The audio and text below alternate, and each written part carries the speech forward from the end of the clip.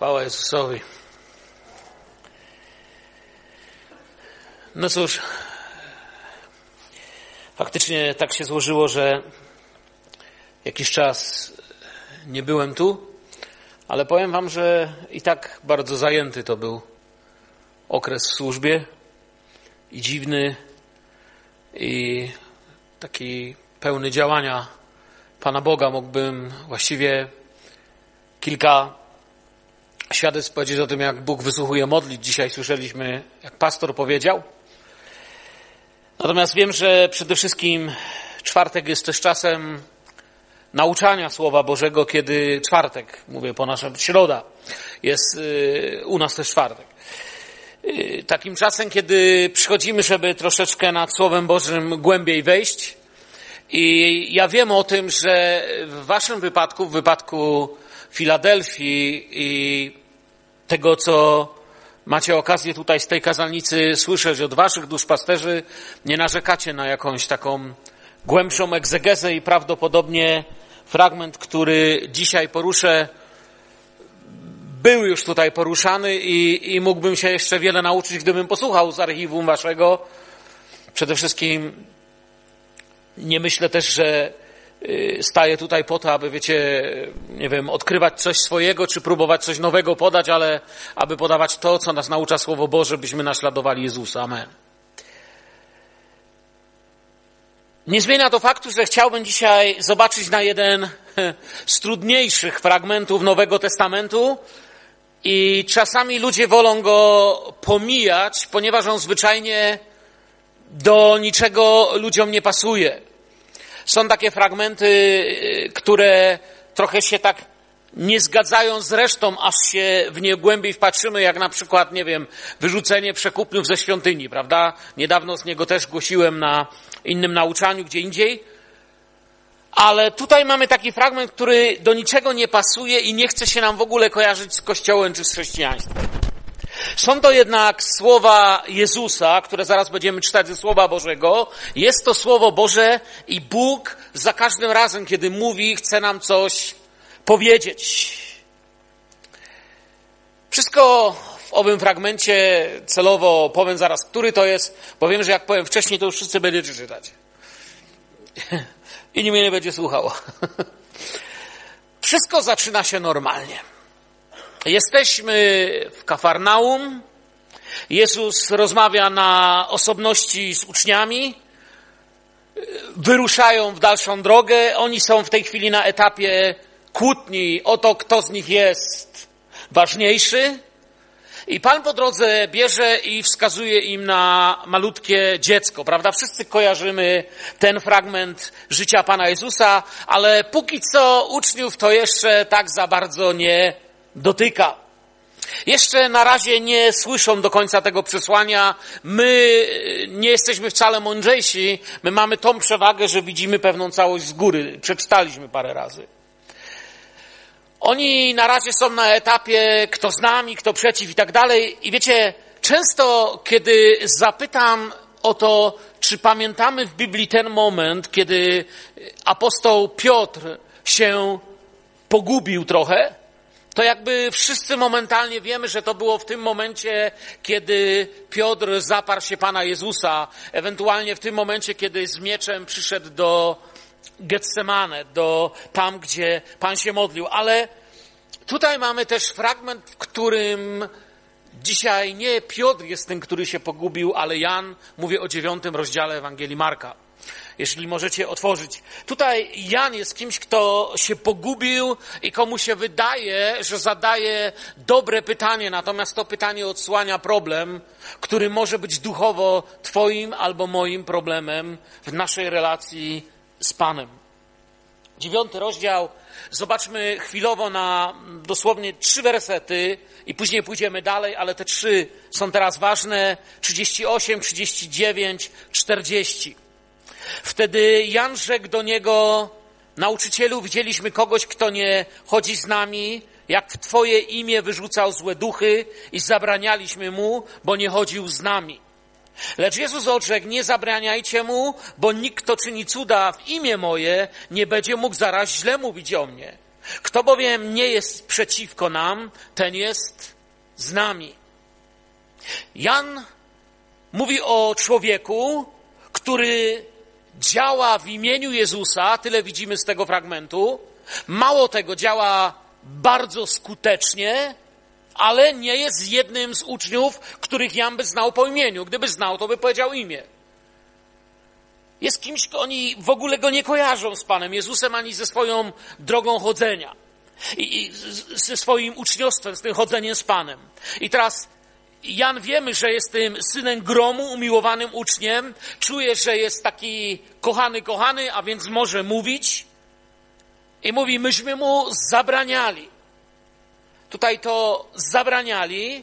Mamy czas przeszły, niedokonały, co nam wskazuje, tak tylko gramatycznie studiując, że nie zabronili mu raz, tylko była to osoba, której częściej zabraniali, której no, w jakiś sposób yy, można by było użyć słowa dokuczali, przeszkadzali w tym, co ta osoba robiła.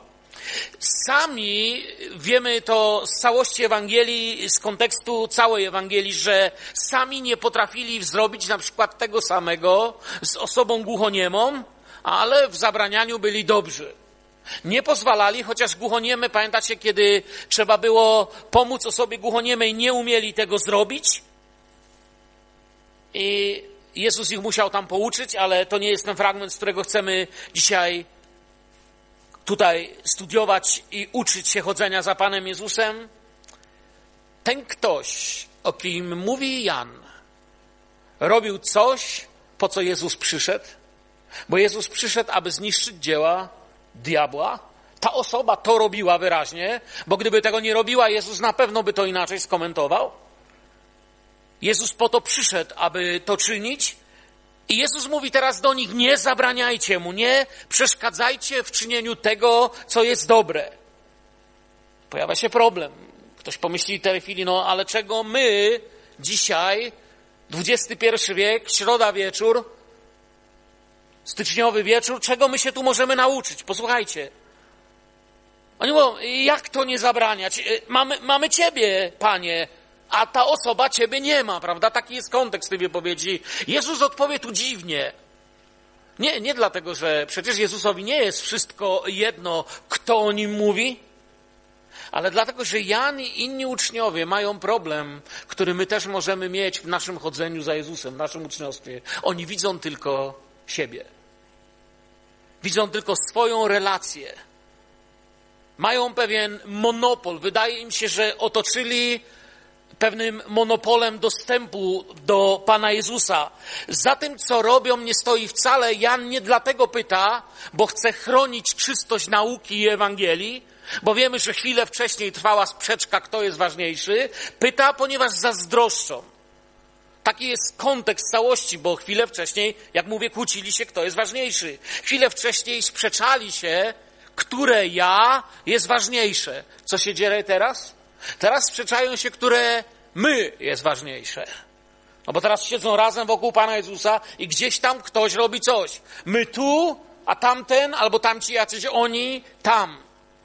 Przed chwilą jeszcze się kłócili, które ja. Ja czy ty jestem ważniejszy? No ale Trochę wiecie, jak chłopaki z jednej dzielnicy. Póki nie ma chłopaków z innej dzielnicy, to się biją między sobą, ale jak przyjdą tamci, no to są razem, nie? Ci teraz zobaczyli, że jakaś konkurencja gdzieś się tam tworzy i przestają się kłócić, które ja jest ważniejsze, ale zaczynają wyjaśniać, które my jest ważniejsze. My dobrzy, oni źli.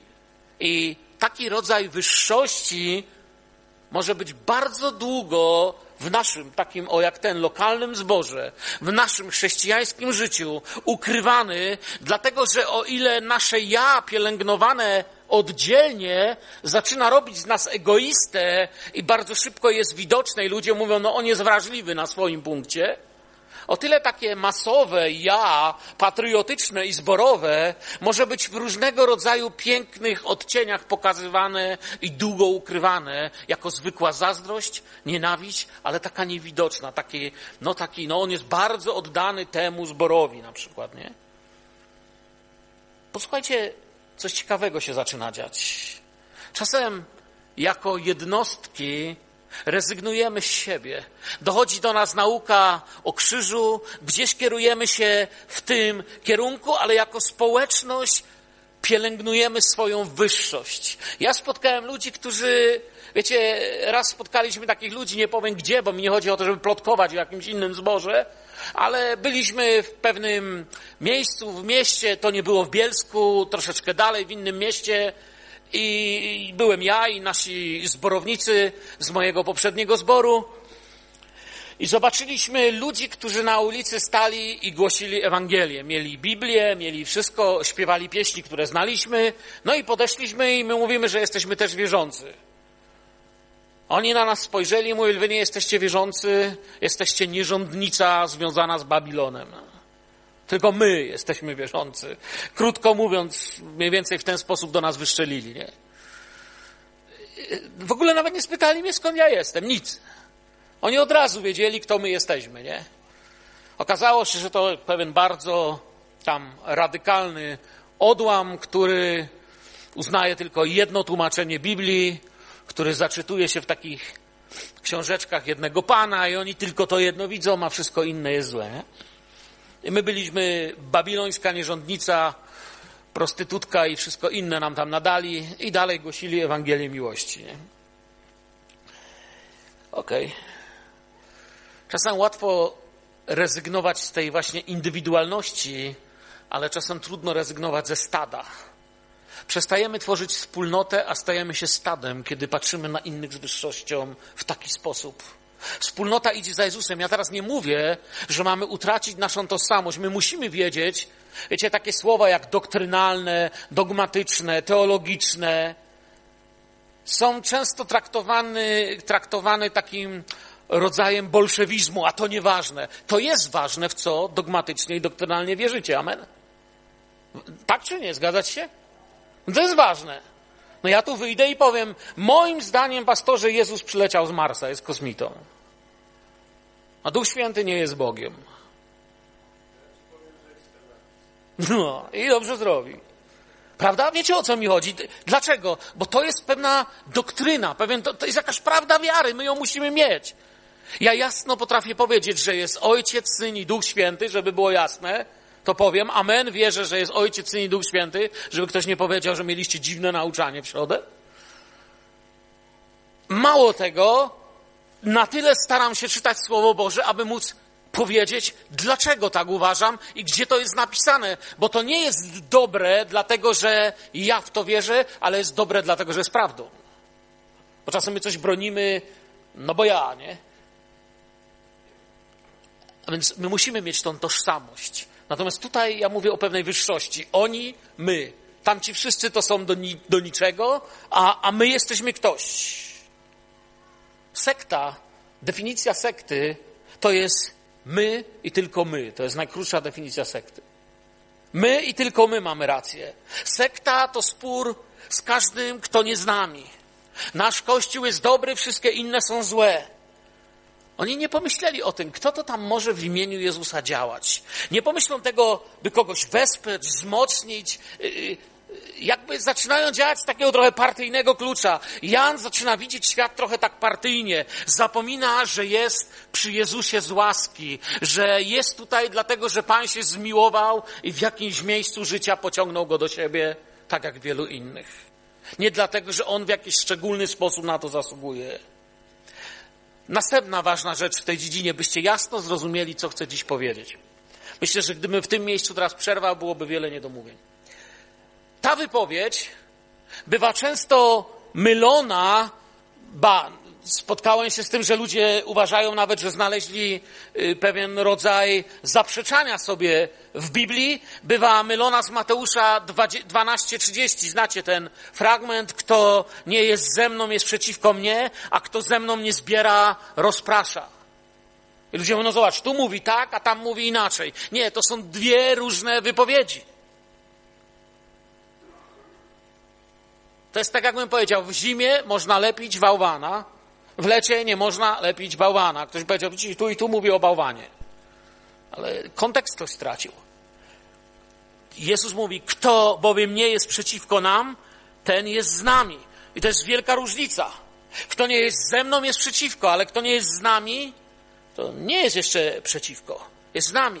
Mamy tu różnicę. W pierwszym wypadku chodzi o Jezusa. Jeśli ktoś nie jest z Jezusem, to na 100% nie jest z nami. To nie jest nasze.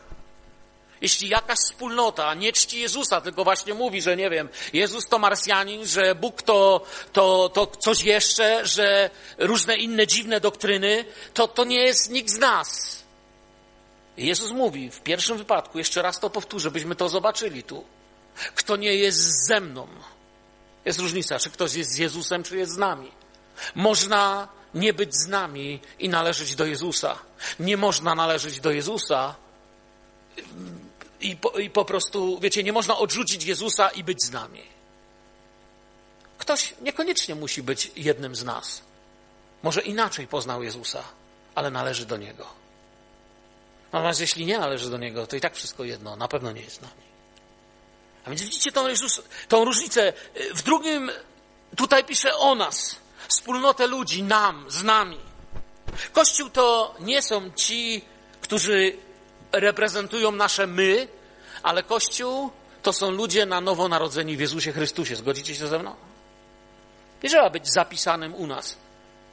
Ani kartoteka pastora, ani tabliczka na budynku, ani te rzeczy. One są ważne. One są jak naczynie dające pewien kształt, dyscyplinę, pewną metodykę tego wzrastania w Chrystusie i opieki nad tym wszystkim, czym Kościół jest, ale one nie decydują, decyduje Jezus o tym, że naprawdę jesteśmy lub nie jesteśmy Kościołem. Bez Jezusa Kościół jest niemożliwy. W Jezusie Kościół jest możliwy w dowolnym kształcie, takim jak my tu mamy i takim jak teraz mają w Syrii, gdzieś tam w podziemiu, nielegalnie, bez światła, z paroma kartkami Biblii. Jest możliwy w więzieniu i jest możliwy na wolności. Kościół jest w Chrystusie. Nie powinno się komuś zazdrościć, a Jan tak na to patrzy i ktoś robi coś, na co my mamy monopol. Podważać, oczerniać, tego nie wolno. Nie trzeba wyganiać demonów. Jezus idzie dalej w swoim nauczaniu i zaczyna mówić choćby o małym kubku wody, który już jest cudowny dla tych, którzy naśladują Pana. A więc Jezus mówi do Jana te słowa, żeby nie zabraniali, że ten człowiek nie jest przeciwko, a potem przejdzie do tych słów, które powiedziałem, że są dziwne i często omijane, bo to nie o tym mówię, mówię o tym, co teraz przeczytam. Bardzo często spotykamy się z tym, że ktoś mi mówi, jest to kompletnie niezrozumiałe słowa Pana Jezusa.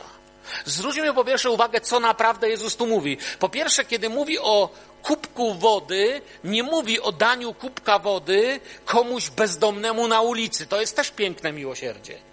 To jest pięknie spotkać na ulicy niewierzącego, dać mu wody, dać mu chleba, ubranie, buty. Wiem, że, że to robimy, to zbory robią. Ale tutaj nie o tym jest mowa. Tu nie jest mowa o pomocy humanitarnej, o udzielaniu łaski, jałmużny. Tu jest mowa o czymś, co się dzieje w wierzących ludziach, w nas. Od 41 wersetu popatrzcie na tę niezwykłą wypowiedź Jezusa. Albowiem kto by napoił was kubkiem wody w imię tego, że należycie do Chrystusa. Widzicie to? To tu nie jest dla kogokolwiek, kto przyszedł z ulicy. W imię tego, że należycie do Chrystusa, zaprawdę powiadam wam, nie straci zapłaty swojej. A kto by zgorszył jednego z tych maluczkich, którzy wierzą, temu lepiej by było, by zawiesić na jego szyi kamień młyński, a jego wrzucić do morza. A jeśli cię gorszy ręka twoja, odetnij ją. Lepiej jest dla ciebie wejść kaleką do żywota, niż mieć dwoje rąk, a pójść do piekła w ogień nieugaszony, gdzie robak ich nie umiera, a ogień nie gaśnie. A jeśli cię gorszy noga twoja, odetnij ją. Lepiej jest dla ciebie wejść kulawem do żywota, niż mieć dwie nogi, a być wrzuconym do piekła, gdzie robak ich nie umiera, a ogień nie gaśnie. I jeśli cię gorszy oko twoje, wyłup je. Lepiej jest dla ciebie jednookim wejść do Królestwa Bożego, niż mieć dwoje oczu, a być wyrzuconym do piekła, gdzie robak ich nie umiera, a ogień ich nie gaśnie. Przyznacie, że to nie jest, są wersety, które sobie wieszamy w ramce na ścianie. Ktoś ma na ścianie to? Wiem, że wiele razy, jak idę do wierzących, mają na ścianie jakieś wersety. Tego nigdy nie widziałem. To nie są proste słowa. Pierwsze, co widzimy w tym słowie, to różnica, jaką sprawia Jezus, kiedy teraz patrzę na całość tego, co przeczytałem w całości, od wypowiedzi Jana aż do końca, to widzimy różnicę, jaką sprawia Jezus oraz zniszczenie, jaką czyni ego, jaką czyni coś, co w nas nie należy do Niego. Mała szklanka wody w tej wypowiedzi jest czymś niesamowitym i błogosławionym, jest czymś pięknym w kościele, ale zaraz potem może się człowiekowi zrobić słabo, jak sobie to czyta, nie? Jezus mówi o kamieniu młyńskim, to już w ogóle nam nie pasuje, nie? Taka nie... Tak się przyzwyczailiśmy, że słowa Jezusa jakoś inaczej brzmią i rzuceniu się do morza, to nam nie pasuje. Potem się robi gorzej, odcinanie ręki. Nie wiem, potem tą jedną, co została, jeszcze nogi. A potem, jak już jest bez nogi, bez ręki, jeszcze oko. Nam się robi źle tutaj. Potem jeszcze są e, robaki, ogień, sól i tak dalej, nie? Kończy solą, ale nie rozumiemy. Mówimy, panie, co to jest w ogóle tutaj? Jak mam do tego słowa podejść? Bo kiedy mówisz, panie, żebym dał biednemu chleba, to wiem, co zrobić. Kiedy mówisz, bym wybaczył, to wiem, co zrobić, ale to nie wiem, co mam zrobić. Nikt z nas nigdy nie stał w domu z siekierą i się nie zastanawiał, bo co zrobiłem coś złego, rękę odciąć, nie? Co z tym zrobić? Co, co to słowo jestem uczniem Jezusa? Chcę pojąć, co mam zrobić? Martwimy się też. Jest jakiś rodzaj zmartwienia w nas, że jak usłyszy ktoś z prostych ludzi takie nauczanie, no to jeszcze nie wiadomo, co sobie może zrobić. Że no przecież jeszcze sobie ktoś krzywdę może zrobić w jakiejś gorliwości. Ja myślę, że zaczynamy patrzeć nie z tego końca, po pierwsze. Myślę, że częściej powinniśmy patrzeć na posłuszeństwo, obecność Chrystusa i wtedy nie przyjdą pewne zgorszenia, które mogą do tego doprowadzić. Ale inna rzecz też, że chcę Wam coś ważnego powiedzieć o samym tej wypowiedzi. Ta wypowiedź nie była wypowiedzią publiczną Jezusa. Była wypowiedziana tylko i wyłącznie do uczniów. Tamtego dnia, kiedy Jezus ją powiedział, nie słyszał tego nikt inny oprócz uczniów.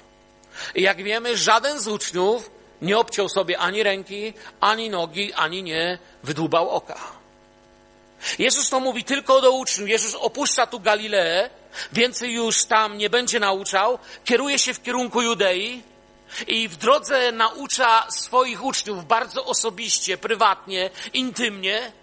To nie jest słowo dla świata, to nie jest fragment kazania na górze na przykład, albo jakieś wypowiedzi do tłumów, które przyszły. Jesteś uczniem, idziesz w wielkiej bliskości za Panem, to jest słowo dla ciebie. To było słowo dla tych najbliższych. I teraz mówi, że kto by napoił was kubkiem wody w imię tego, że należycie do Chrystusa, ten nie straci swojej zapłaty. W imię tego, że ty jesteś Jego. Czyli innymi słowami, ty nie patrz, czy On jest nasz Twoim standardem niech będzie to, że On jest Jego. To jest, to jest pierwsza prawda tutaj. W imię Jezusa. Nie według tego, czy to my, czy to ja, czy to nasi.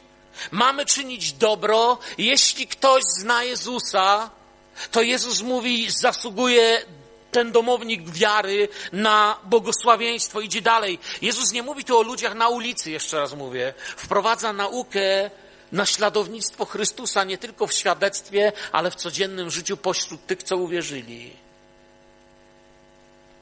Dlaczego w imię Jezusa? Dlaczego coś ważnego Pan próbuje nam przekazać? Znowu zacznę od drugiego końca tego kija. Czynienie dobra w swoim imieniu czyni z ludzi dłużników. Czynienie dobra w imieniu Jezusa jest Ewangelią. Znamy choćby opinię Pana Jezusa na temat dawania, szczególnie jałmużny wobec biednych, prawda? Że Jezus mówi, że nie powinna wiedzieć lewica, co czyni prawica. Powiedział to o jałmużnie, pamiętajmy. Nie mówił to o wszelkim dawaniu. Jest rodzaj dawania, który tego nie dotyczy. To też nie jest dzisiejsze nauczanie.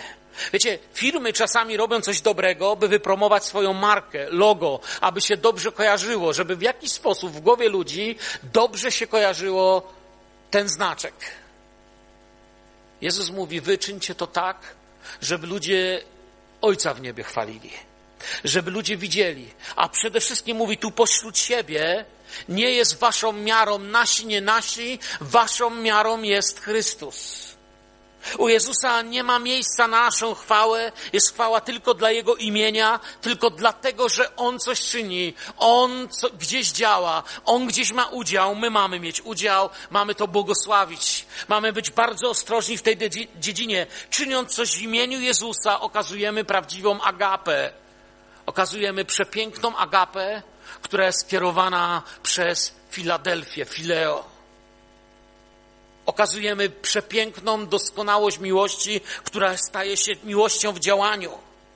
Wiemy, że agape to miłość bezwarunkowa, schodząca z góry. Fileo to jest miłość pośród tych, którzy zostali Chrystusową agapę dotknięci i zdecydowali się ją naśladować. Żyć w tym. Miłość braterska. Nawet najmniejszy uczynek ma wartość, jeśli Ludzie widzą Jezusa, czynią dla Jezusa, Jemu są wdzięczni. Czynienie dobra w imieniu Jezusa sprawia, że Go poznają, sprawia, że my Go uwielbiamy, a oni Go widzą. Można coś czynić w swoim imieniu. Ludzie będą wdzięczni, może nawet Bogu niektórzy, ale my na tym poniesiemy stratę.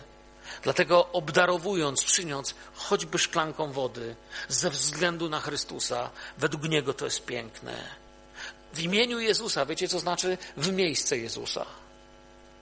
My nie jesteśmy ludźmi magii. Chrześcijanie nie wierzą w magię. Czasami ludzie wierzą w magię. Myślą, że wystarczy powiedzieć w imieniu Jezusa i już. Nie, w imieniu Jezusa jest stylem życia.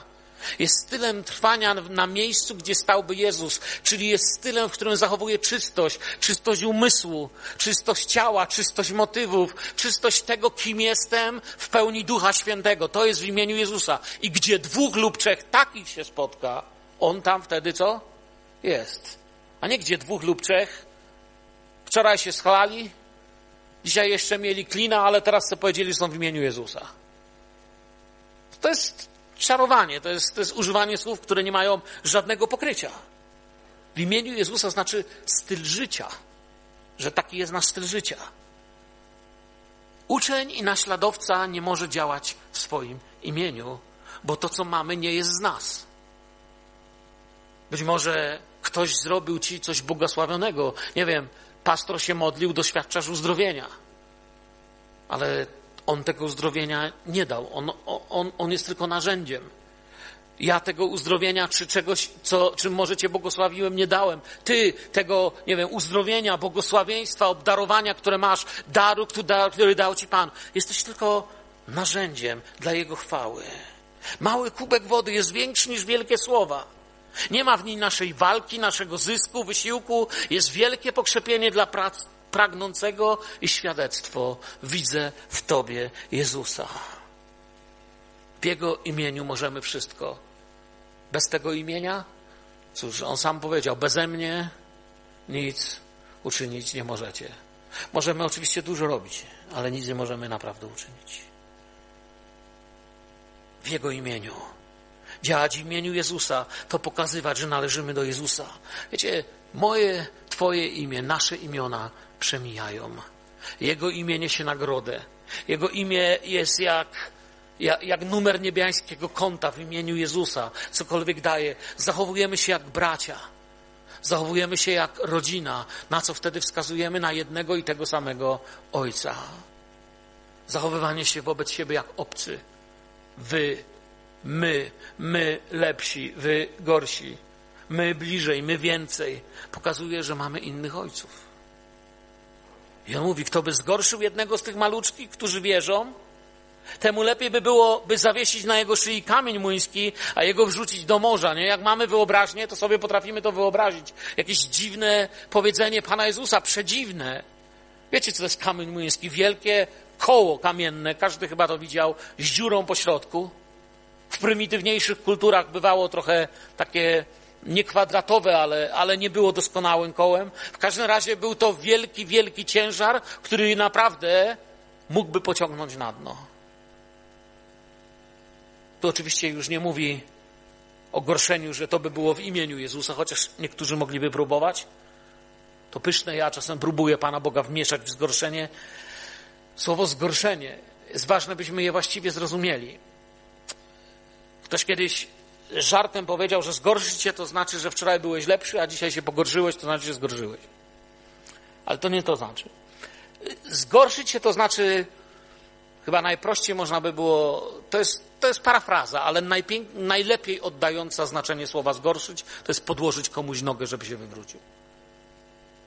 Po prostu jakąś kłodę, przeszkodzić w drodze. Czyli po naszym przejściu, czy po naszym działaniu ludzie upadają, nie widzą Jezusa, tylko nasze zniszczenie i egoizm.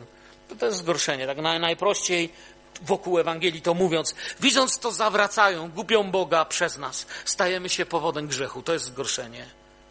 Kiedy ktoś kompletnie się pogubi przez to, co robię. Czasem tak siebie lubimy, że nas to nie obchodzi.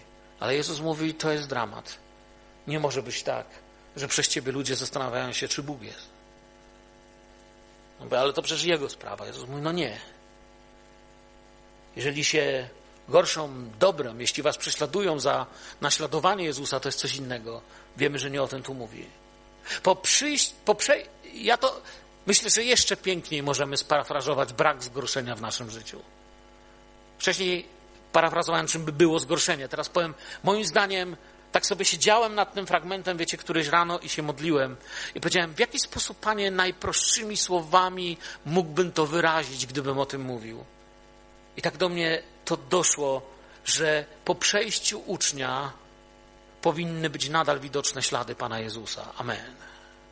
Wiecie, co próbuję powiedzieć? Może to jest taki trochę artystyczny język, nie? Ale że po przejściu mnie jako ucznia nie powinny być moje ślady, ale ślady mojego Pana. Naśladowanie Jezusa nie polega tylko na tym, że za Nim idziemy, ale że nie zdeptamy Jego śladów dla innych.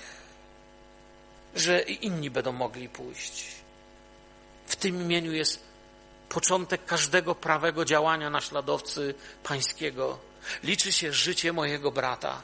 Musimy zrozumieć, że dla Jezusa życie naszego bliźniego, brata jest strasznie ważne i powinno być takie dla nas. Liczy się życie mojego brata i siostry, nie moja racja. Paweł, apostoł, często o tym pisał. Chodzi o świadectwo, nie o to, co ja wiem, co zrobiłem dla innych. Biblia często ostrzega przed gorszeniem bliźniego. Jezus w tym miejscu nagle mówi, lepiej by było, by zawiesił na swojej, by zawiesić na szyi kamień młyński. Widzimy to? Nie, on tu nie mówi, dobrze by było, ale by było lepiej. Samobójstwo jest czymś strasznym. Zabójstwo to grzech, ale Pan mówi, lepiej by było, gdyby taka osoba to zrobiła, niż niszczyła coś, co jest takie cenne w oczach Bożych. Ale Jezus nie zachęca tu, żebyśmy to jasno widzieli. Jezus absolutnie nikogo do tego nie zachęca. Jezus tylko pokazuje w taki niesamowicie, ja bym nawet tu użył słowa, yy, przerażająco wyraziście pokazuje, że dla Boga jest ważne życie innego człowieka. I wiecie, możemy sobie siedzieć każdą środę tutaj i zgłębiać nauki biblijne tak, że z czasem będziemy tacy spuchnięci od tego poznania, że nam normalnie nikt nie poskoczy w wersetach. Ale to musimy zrozumieć. Dla Boga nasi bliźni są ważni. Nie można drugiego człowieka poniżać i wyniszczać z powodów religijnych i traktować jak jakieś obce zło. Problem w tym, bo Jezus mówi dalej, teraz przechodzi jeszcze w ciekawsze. Teraz się zaczyna ręka, noga, oko. Co się tu dzieje? Problem w tym, że moje życie może być zgorszeniem nie tylko dla innych. Bo teraz to jest jakby. Tu teraz coś, coś jest powiedziane do nie, nie w sensie zwróćcie teraz uwagę na innych, ale zwróćcie uwagę na siebie, nie? Problem w tym, że moje życie może zgorszyć, ale nie tylko mego bliźniego, ale mnie samego. Mogą być nim rzeczy niszczące, podkładające mi kłody, niszczące dzieło zbawienia i to, co zrobił Duch Święty w moim życiu. I tu padają te niezrozumiałe słowa. Pamiętajmy, że w tamtym klimacie tamci ludzie wiedzieli, co to znaczy psucie się mięsa, wiedzieli, co to znaczy gangrena, rana, która zaczyna gnić, wiedzieli ewidentnie, co to jest trąd, wiedzieli, co to znaczy różnego rodzaju zgnilizna, smród i tak dalej. Albo obcinasz, albo zabija ciebie. Jezus zaczyna mówić słowa, które, które są takie trudne. Jeśli cię gorszy ręka, odetnij ją. Lepiej wejść kaleką do żywota, niż mieć dwoje rąk, pójść do piekła. Ten werset wstrząsa. No bo co z tym zrobić? Ten werset wstrząsa, bo, bo my wiemy, czy brak ręki może zmienić moje serce. Myślę, że Jezus wcale nie mówi tu, żeby rękę obciąć. Taka jest moja opinia na temat tych wersetów. Być może egzegeza pastora czy kogoś z waszych nauczycieli była inna, no ale nie wierzę, że była taka, że chodzi o obcięcie ręki. To nie wierzę. Myślę, że nie chodzi o to, aby obciąć rękę, lecz aby swoją rękę odciąć od pewnych działań. Myślę, że chodzi że muszę odciąć działanie wszelkiego brania moimi dłońmi i budowania swojego imienia, swojego ego, czegoś, co nie należy do Chrystusa. Ręka symbolizuje branie, dawanie, czynienie zła lub dobra.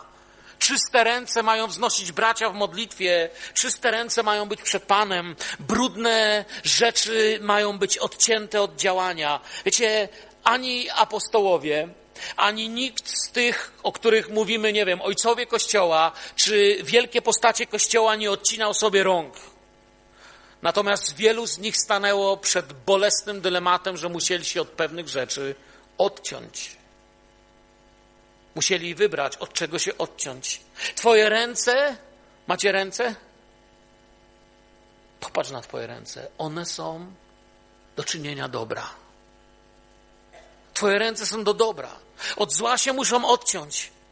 Jezus mówi, lepiej wejść kaleką. To jednak co, dosłownie? Ja myślę, że nie ma Pan Jezus na myśli religijnych okaleczeń. Może już nie w tym okresie, kiedy Jezus prowadzi to nauczanie, ale jeszcze tysiąc lat wcześniej, może tysiąc lat, tysiąc pięćset lat wcześniej, na tych sąsiadujące kraje z tym, co dziś nazywamy Izraelem, były modne religijne okaleczania się. Widzimy je choćby w wypadku Eliasza. Ludzie się kaleczyli, to było modne, kaleczyć się dla swojego bóstwa. Ludzie byli nawet tacy kapłani różnego rodzaju kultów kananejskich, którzy rzeczywiście wypalali sobie ogniem oczy, aby nie widzieć, nie pożądać, aby służyć bóstwu. Byli tacy, co w różny sposób się okaleczali. Ale Pan Jezus nie namawia do religijnego, kultowego okaleczania się.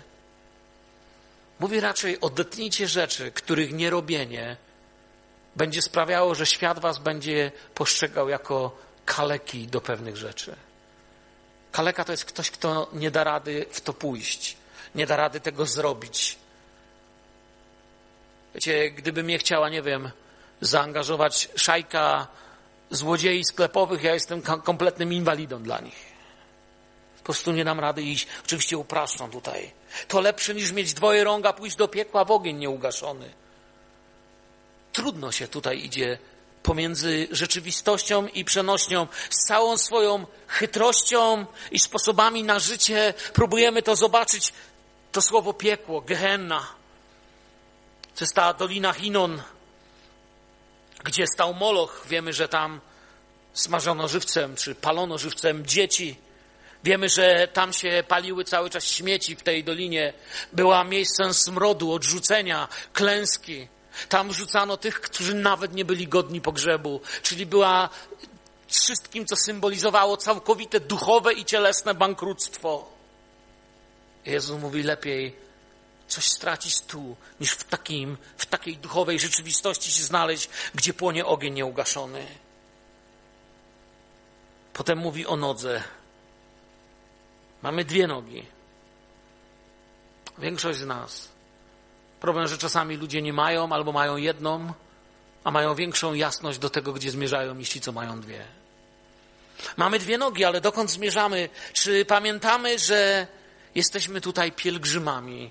Że przechodzimy tylko przez ten świat? Czy pamiętamy, że Jezus jest drogą, na której nasze obydwie nogi mają stać? Że od pewnych dróg nasze nogi muszą się odciąć? Bo zdecydowanie, jeszcze raz mówię, Jezus nie namawia do religijno-kultowego ranienia swojego ciała.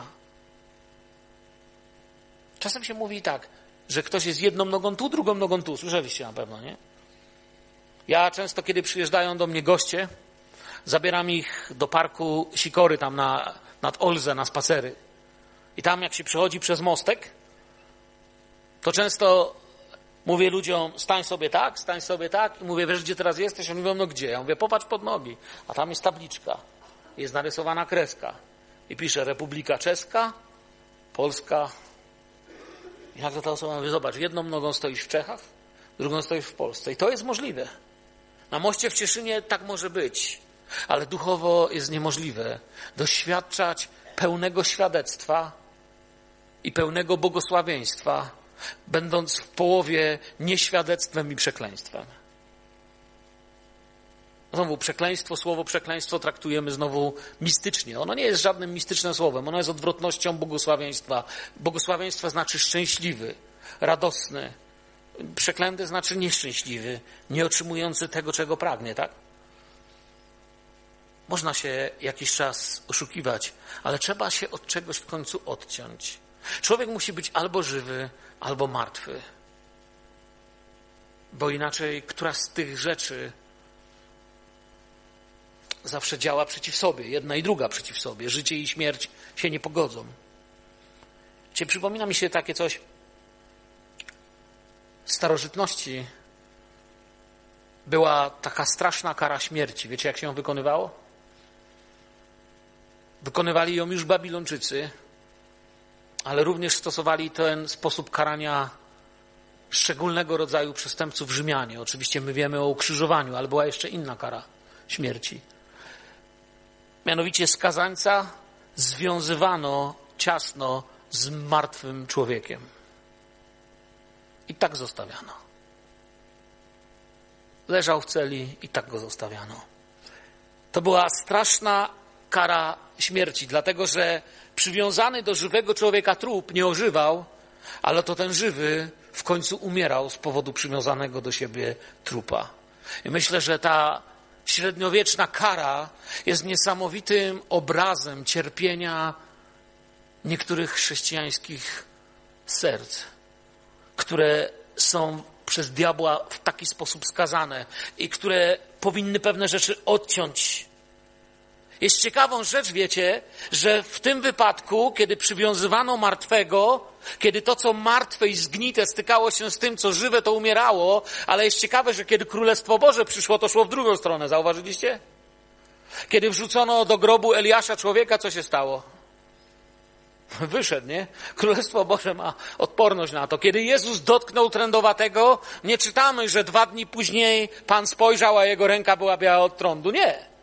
Czytamy, że kiedy go dotknął, to wręcz da się poczuć, że ludzie byli przerażeni, byli pewni, że on na siebie podpisuje karę śmierci, dotyka śmierci, ale okazało się, że tak naprawdę odcina człowieka od śmierci. Śmierć odpadła, człowiek został odcięty. Widzicie tą prawdę? Trędowaty wstał i był jaki? Wszyscy, to nie Jezus był trędowaty. To samo potem czynił pierwszy Kościół, nie? Kiedy błogosławił. Kiedy Jezus przyszedł do grobu Łazarza, to podobna rzecz, ostrzeżenie. To tam jest ładnie powiedziane, ale wiemy, że chodzi o to, że trup jest czymś niebezpiecznym w tamtym klimacie. Jad trupi to jest wielkie zagrożenie. Już suchnie, panie. Wiemy, nie? jak mawiał ten, nie pamiętam już imienia, nazwiska, czarnoskóry kaznodzieja, który powiedział, Jezus podszedł i powiedział Łazarzu wyjdź, bo jakby nie powiedział Łazarzu, cały cmentarz by poszedł do domu. Tak działa Królestwo Boże. Muszę sprawdzić, czy moje ślady prowadzą za Jezusem, niosąc życie. Czy nie ma coś, co powinienem odciąć od siebie, aby było życie? Bo tak odcinało Królestwo Boże. Bo gdyby Jezusowi chodziło o zabijanie, no to wiecie, gdyby usunął z tego trendowatego wszystko, odciął, co na nim trendowate, to nie wiem, co by z tego człowieka zostało. Z niego szkielet został, albo i to nie. Później to oko, nie? Jeśli gorszycie oko, zaczynamy powoli coraz więcej rozumieć. Pożądanie oczu pociąga w przepaść serce. Gdy pociągnie serce, idą mi nogi i ręce za tym. Człowiek zaczyna czynić zło. Znów, wyłupanie sobie oczu nie myślę, żeby nam pomogło. Na pewno doprowadziłoby nas do psychiatry, ale nie myślę, że doprowadziłoby nas do wielkiego świadectwa dla Królestwa Bożego. Nasze oczy muszą być jednak odcięte od pewnych rzeczy. Nasze oczy muszą być odcięte od po pornografii. Czy wiecie o tym, że 97,9 mężczyzn w Polsce ma kontakt z pornografią? Miało jakiś, nie mówię, że ma systematyczny, że się o nią otarło. To oznacza, że być może twój syn, być może twój mąż, być może ty, bracie, być może ty, siostro, bo kobiet też to zaczyna coraz bardziej dotyczyć.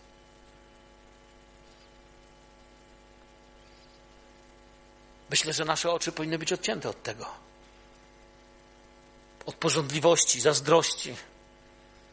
Jakby wyłupane w duchowy sposób, dlatego czym są te rzeczy.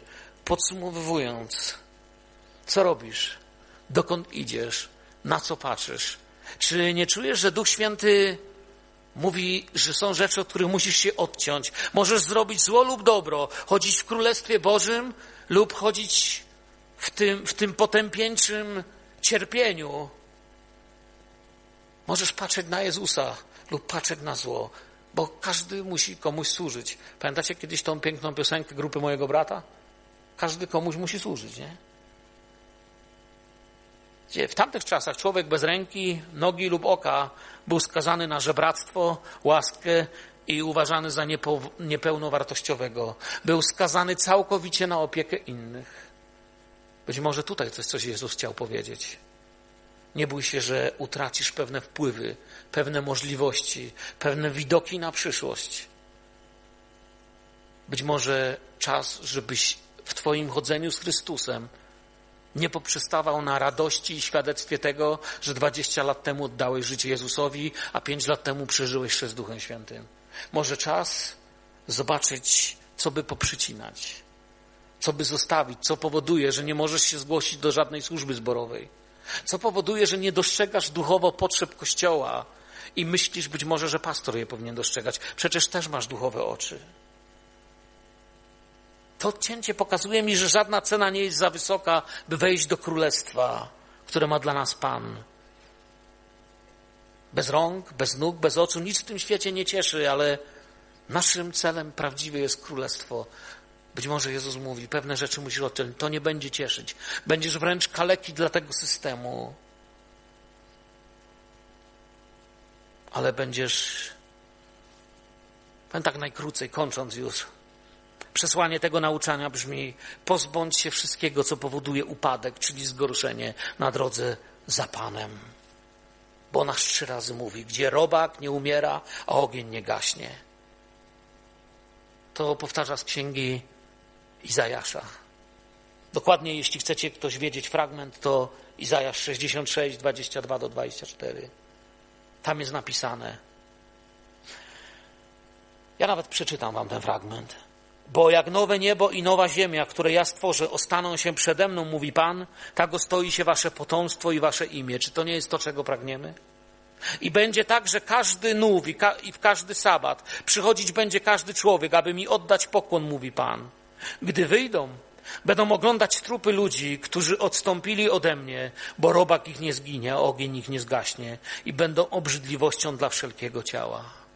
To jest to, czego się mamy odciąć. Bóg mówi, ci, którzy mi będą wierni, będziecie widzieć, co się dzieje z tym, co wierzyło w siebie, z tym, co wierzyło w ludzkie obietnice i blichtry. Jezus nie gro grozi, Jezus nie straszy, Jezus ostrzega. Przyjdźcie, chodźcie, można należeć do widzialnego kościoła i bardzo, za bardzo pielęgnować swoje ja. Można być we wspólnocie dumnym ze swojego my, ale On nas dziś zachęca. Bądźmy częścią Kościoła, który czyni dobro i odciął się od tego, co złe. Widzisz Chrystusa, kieruj tam swoją miłość przedziwne jest dla mnie, ale właściwie gdybym teraz nie kończył, to mógłbym wyjść do kolejnego nauczania z tego fragmentu. Zaczynam też rozumieć, że Jezus mówi tu o jedności ciała Chrystusa. Ale niech Pan Was błogosławi. Wierzę, że w takim nauczaniu słowa, że to słowo będzie w nas jeszcze działać, że będzie nam pokazywać. Wierzę, że być może, kiedy będziecie się modlić nad tym fragmentem, niektórzy z Was zobaczą jeszcze bardziej niezwykłe możliwości zastosowania tego w swoim życiu. Ja nie zjadłem wszystkich rozumów. Ciągle się uczę, Ale myślę, że zdecydowanie Duch Święty chce, odcinajcie się od tego, co puste, złe, chore i niepotrzebne. Patrzcie moimi oczyma na ten świat, na Kościół, na swoją służbę. Powstańmy, podziękujmy Jezusowi za Jego dobroć, za Jego łaskę w naszym życiu. Być może powiedzmy Mu, Panie, gdzieś w głębi serca czuję, że ja, ja mam rzeczy, od których się muszę odciąć. Ale ja nawet nie wiem, jak się za to wziąć. Mam taką prośbę. Chcę Wam tak powiedzieć: nikogo nie będę tutaj prosił do przodu, ale być może jest wśród Was ktoś, kto czuje, że, że są sprawy, które musi odciąć dla swoich oczu, dla swoich rąk, dla swoich nóg, że gdzieś czas by było przestać chodzić. Pewne rzeczy czas by było przestać robić o pewnych rzeczach przestać myśleć i przestać na nie patrzeć. Może są to jakieś poważne rzeczy, a być może całkiem małe, ale jednak cię bolą. Nikt cię o to nie będzie pytał. Daj znać ręką Kościołowi. Potrzebuję modlitwy i mądrości od Ducha Świętego. Widzę jedną rękę, drugą. Tych, co nie podnoszą ręki, podnieście wyżej ci, co potrzebujecie modlitwy. Obróćcie się, zobaczcie, kto podniósł rękę. Wiecie, co robią ci, co podnieśli rękę? Popatrzcie, kto trzyma. Ci, co podnieśli rękę, mówią tak, kościele, bo Kościół jest dobrym miejscem na modlitwę. Amen. Kościele, pomódźcie się o mnie, bo potrzebuję w tej sprawie prowadzenia. Panie, modlimy się o tych, co podnieśli dłonie. Nie wiemy, jaka to jest sprawa, czy zakończy się modlitwą w biurze pastora, czy zakończy się pokutą, czy zakończy się poważną decyzją, dokąd w Twojej mądrości poprowadzisz tych ludzi, ale prosimy Cię, aby ci, którzy podnieśli swoją dłoń, w Twojej wielkiej łasce i wybaczeniu byli poprowadzeni do tego, aby doświadczyć uwolnienia od różnego rodzaju niepotrzebnych starych spojrzeń, związań, uczynków, dróg, którymi ciągle się być może trapią, może gdzieś niechcąco wrócili, czegoś się dotknęli. Panie, nie naszą rzeczą jest osąd, ale w pełnej miłości w pełnej ufności w Twoją cierpliwość i w Twoją mądrość i w to, że Ty do każdego tak, do każdego dziecka tak przemawiasz, że Cię może rozumieć. Prosimy Cię o Twoją mądrość i posilenie dla tych, którzy podnieśli rękę i powiedzieli Tobie i Kościołowi potrzebna mi mądrość i prowadzenie ku pełnej wolności dziecka Bożego i świadectwu. Błogosławimy ich. Prosimy, aby to słowo w nich działało aby to słowo czyniło z nas świadków Twojej chwały, aby czyniło z nas tych, przez których świat zobaczy, że Jezus żyje, Jezus zmartwychwstał. I Tobie chwała i cześć, Ojcze. Amen.